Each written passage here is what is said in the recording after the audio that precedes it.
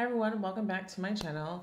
Um, today we're going to be reacting to Tulsi Gabbard's I'm leaving the Democrat Party uh, speech that she gave and then come back and talk about whether or not this is legit, what her reasons were, um, and maybe, uh, I don't know, is this a grift? Who knows? But without further ado, let's go ahead and see what she has to say and then come back.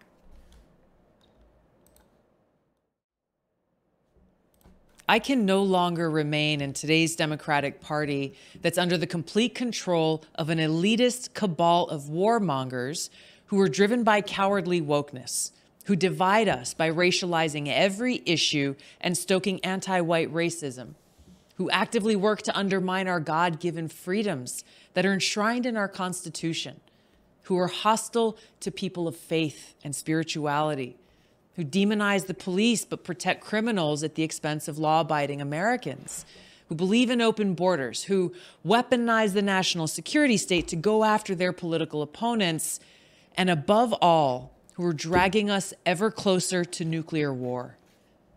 Now, I believe in a government that's of the people, by the people, and for the people. Unfortunately, today's Democratic Party does not. Instead, it stands for a government that is of, by, and for the powerful elite. Now, I'm calling on my fellow common sense, independent minded Democrats to join me in leaving the Democratic Party. If you can no longer stomach the direction that the so called woke Democratic Party ideologues are taking our country, then I invite you to join me. Okay, well she definitely gave a myriad of um, reasons why she is leaving the Democrat Party. And to be honest, I 100% do not blame her. Um, everything I believe she said and stated has been true. Um, I I remember watching her for the 2020 presidential candidate debates, and the one thing out of all of the candidates that the Democrat Party could have had. I thought it was. I, I was I was disappointed that um, they chose to discard her. I thought, if anything, she was one of the more stronger candidates that they had for uh, to be a Democrat president, and I actually really liked her. There are a lot of things I um, did not agree on. Um, for instance, her stance on being, you know, pro 2A, but it seems now, um, in light of things that have transpired over the past two years in America, she's more pro gun now. Um, um, is that legit?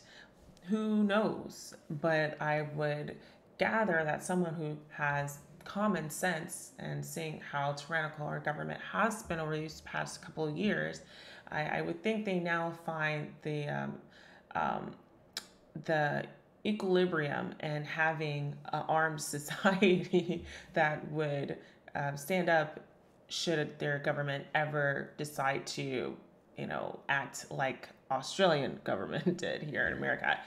Um, and as long as we have guns, you know, that will never ever happen.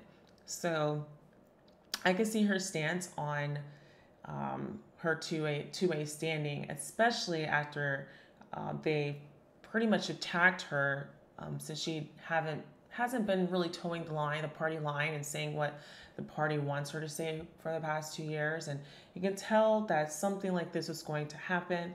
Um, I wouldn't be surprised if she goes, you know, independent. To be honest, um, I only was rooting for her because I am an independent and like, uh, contrary to what a lot of people might think, I, I do have conservative views when it comes to children and fiscally. But when it comes to adults, I really don't care what you do. But when it comes to politics, I'm always going to choose the candidate um, that teeters on moderate. Doesn't matter if they're Democrat, doesn't matter if they're Republican, most definitely doesn't matter if they're independent. But um, anyone who um, um who um, aspires to have more government control over their citizens is something that it really disturbs me on a, a very grand level. And she's seemed to be one of those individuals who have, you know, taken um, back her, you know, stance on more government um, involvement in their citizen lives. Um, I know some people have been asking whether or not this is she's pulling a grift because of her podcast. I mean, look, we all have to make a living, and um, you know, it's it's not like the Democrat Party really is uh, you know, pulling all the red carpets for her to even have a plat- to even have a platform. So her having her own platform, being able to voice her opinions without having the judgment of Democrat her her former Democratic colleagues, I think um, is something that every individual should have.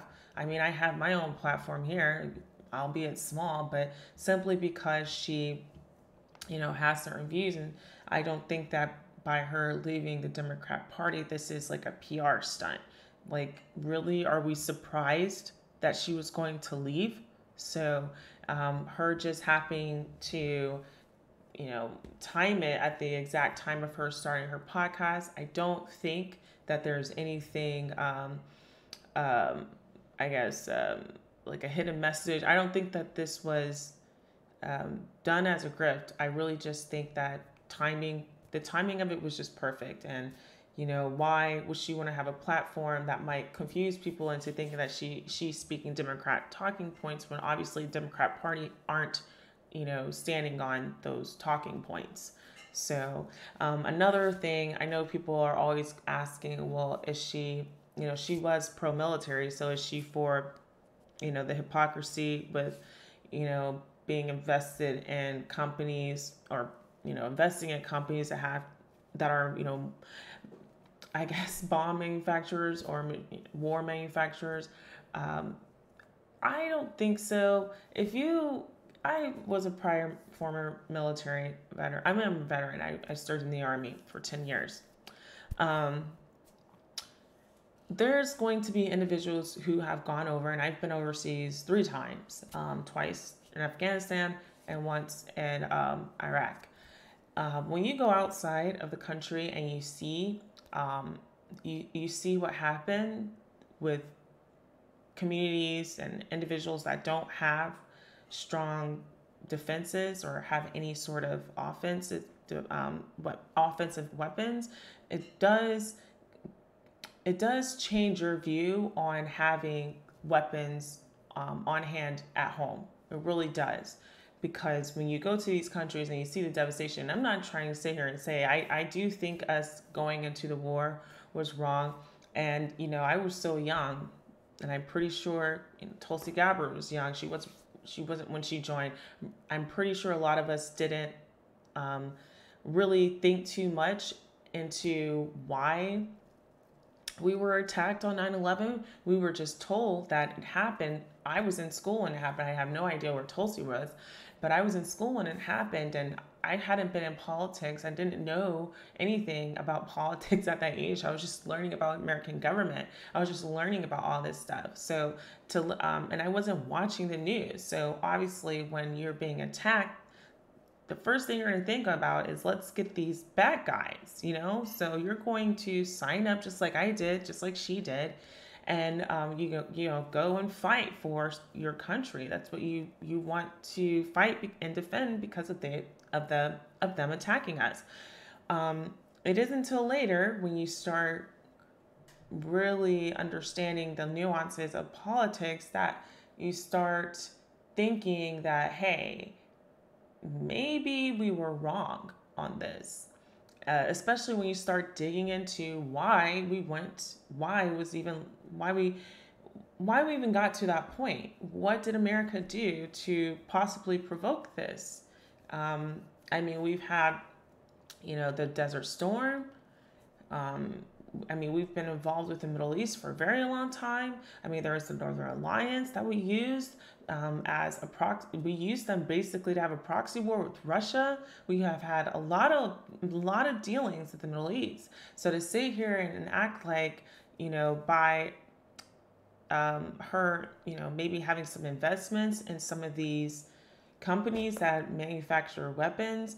Um, and then use that as a, a way to say that maybe she's a hypocrite when it comes to, you know, war uh, you, you can't look at it from that you know, that standpoint just because she doesn't like what's going on over there, it doesn't mean she doesn't support um, or why why would she want to support manufacturing weapons here for just defense? This is not this these weapons are not just going to be sent over to Ukraine. It's not like we are manufacturing these weapons just for Ukraine. We're also manufacturing weapons for us and our allies just in case anything happens. So I think it would be wise to invest in security. And you know, I I mean I worked for Raytheon at one point and um you know, I had to leave because, well, I didn't want to leave, but I felt like I did, you know, my time here, just like when I served in my military, I'm always going to want to do things to, you know, promote my country and to protect my country because um, even though I might get called a coon or whatever, I do care about my neighbors. So I don't think that by Tulsi, um, you know, whether that's investing in these companies uh, is a sign that she is um, a hypocrite when it comes to uh, the warmongering that's happening in Congress. I haven't seen her once um, say that she's in support of sending more and more weapons and money over to Ukraine to continue on this war. Because the longer this war gets drawn, uh, the, the longer this war continues, the more we get drawn in. And at, at some point, you have to ask yourself with us contributing so much of our our dollars, so much of our weapons,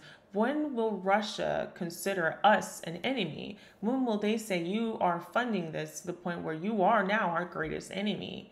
So I understand where she's coming from, but that doesn't mean that um, that I shouldn't invest in you know individuals or com- individual companies that are making these weapons. It's like a damn if you do and damn if you don't situation. Okay, so that's my take on it. I honestly think she's a, a, great individual. And yes, there might be things I did not agree with her on, like definitely the immigration um, situation. I don't think anyone should be here who is illegal, period. Only asylum seekers and um, refugee seekers, not economical seekers. That's no, that's not, that is not persecution. You should go back to your country where you know you, uh, you should go back to your country and stand up to your government um, and call out their corruption. If you can't do it there i most definitely don't want you doing being here. So um, um, it just speaks volumes to not only their character but also just their strength to stand up against adversity.